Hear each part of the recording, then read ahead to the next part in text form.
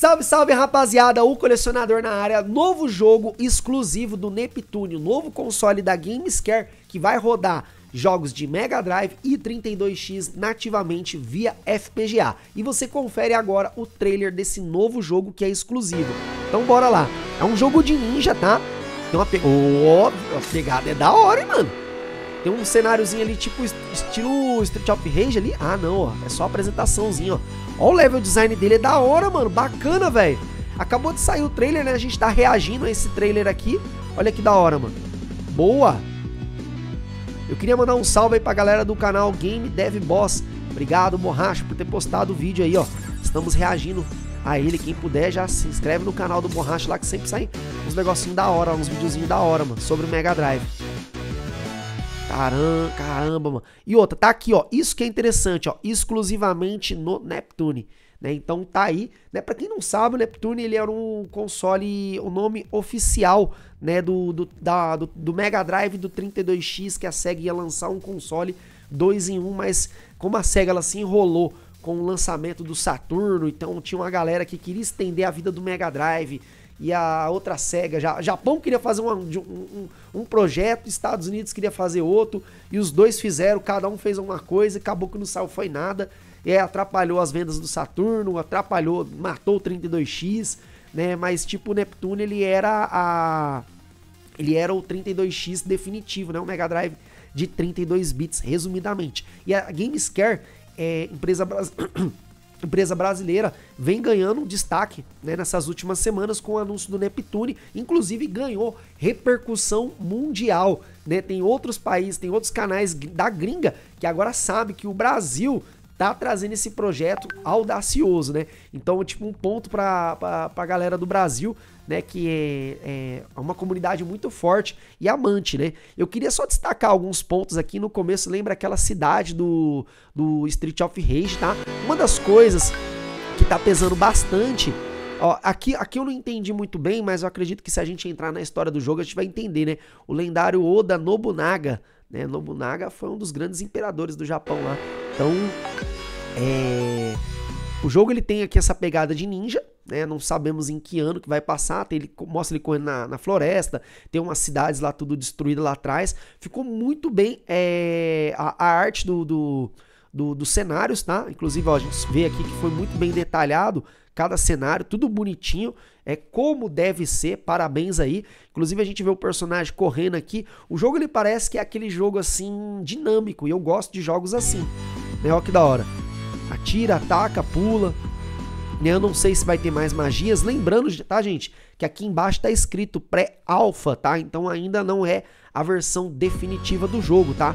Ainda vai passar por algumas melhorias, vão adicionar mais algumas coisas. E é um jogo que ele é exclusivo, então você vai ter ali um jogo que é totalmente exclusivo do, do Neptune, né?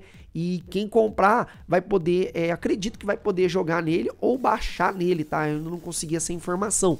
Né? Não sei se você vai ter que comprar, não sei se ele já vai vir com Neptune, mas assim, é bem legal porque esse console, ele não, ele não é uma cópia, ele simula o FPGA, né, que aí vai rodar 32X nativamente, é claro, também ele dá um suporte, ele vai ter uma comunidade. Então, tipo assim, vai existir uma comunidade online, né, de Mega Drive, inclusive para programadores poderem lançar os seus jogos no Neptune. Então, tipo assim, é, vamos unificar a comunidade, né, os amantes de Mega Drive, tudo em um só lugar. Eu acho que essa proposta, além de ser um videogame é, foda, um videogame assim que vai entregar uma capacidade bacana, bem legal, né, ele tem muito a oferecer. Né? Só lembrando, vou dar um recadinho rápido, já se inscreve no canal, deixa seu like que eu quero é, falar um pouquinho a respeito do preço, tá?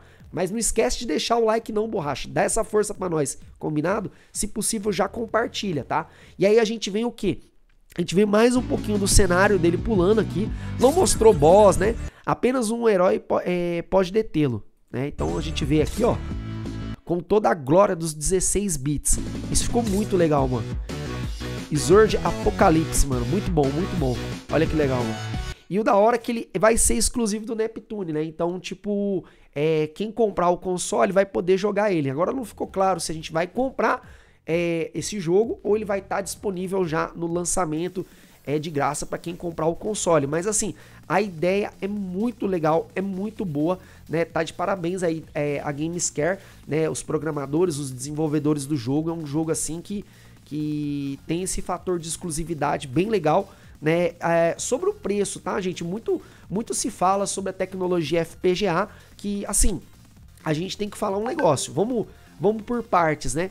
É, o que é a tecnologia FPGA? Ela simula né, é, hardwares. Então ela vai simular, eu não sei falar bem exatamente tecnicamente, mas é meio que por cima para você entender. Ela não está emulando, ela está simulando, né? E por exemplo, é, eu vou dar um, quem tem um Mr. FPGA, né, sabe que um Mr. FPGA ele é muito caro, ele custa mais de dois mil reais, inclusive se você for comprar aqui no Brasil. E aí o que, que ele, que, qual que é as vantagens de um FPGA? Né? O Mr. FPGA ele pode simular ali, ele, além dele ter vários suportes de filtro de imagem, filtro de som, o áudio sair na caixa da direita, na caixa da esquerda, é, é, você poder controlar tudo isso com o controle, tudo isso na tela, né? Tudo isso em modo fácil, dá para você controlar os RGB, os filtros, né? Todas as tonalidades. Vários emuladores fazem isso, mas a tecnologia FPGA é mais caprichada. É um negócio assim mais granfino, é um negócio mais de luxo, sabe? E você pode ver isso também no Mega, ai, no Mega SG, né, da Terra Honor, que ele pega e entrega é, o santo grau de qualidade que um Mega Drive pode ter, né? E aí a Gamescare, ela faz um negócio diferenciado que é o que? Rodar Mega Drive e 32X nativamente. Então é uma proposta que já está um pouquinho é, já está um pouquinho à frente do seu tempo. E detalhe, né, é, fazendo isso vai abrir portas e caminhos para outros desenvolvedores é, produzirem jogos de 32X para o Mega Drive.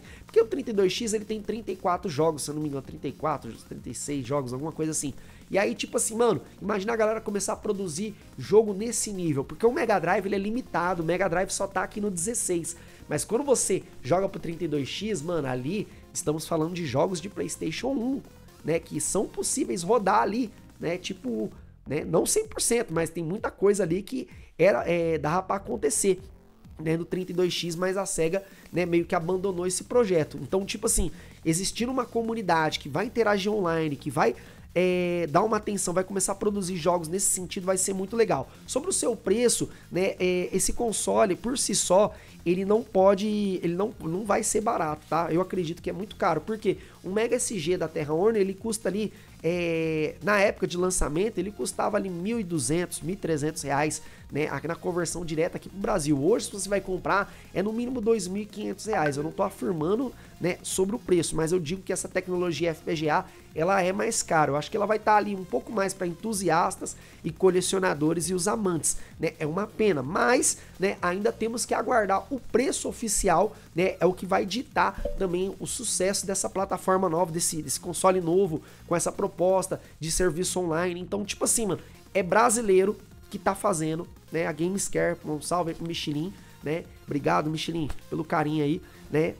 E, tipo, ou a gente apoia, né? Ou a gente vai ver flopar, né? É, como muitos outros projetos acabam flopando. Mas o mundo está de olho nesse projeto. Eu acho que é um, um projeto bem legal e a cena retro game deveria apoiar, né? Como que você pode fazer, é, fazer isso? Primeiro, compartilhando esse vídeo, deixando o seu like, né? Em segundo, assistindo o vídeo até o final, é, comentando Neptune, né? Que legal, né? E parabéns aí pelo pra galera que fez o jogo é, Sword, The, é, Sword of Apocalypse, né? Que é um jogo ali bem legal. Eu não entendi muito, né? Espada do Apocalipse, né? Legal. É, vamos ver a proposta desse jogo, tá, gente? Eu vou ficando por aqui. Um forte abraço. Vou deixar os últimos vídeos na tela, os cards. Acompanha. O canal do colecionador bateu 51 mil inscritos. Tem clipe de 50 mil. Tem vídeo da Santa, da Santa Efigênia bombando no canal. Tamo junto. Digita Neptune no comentário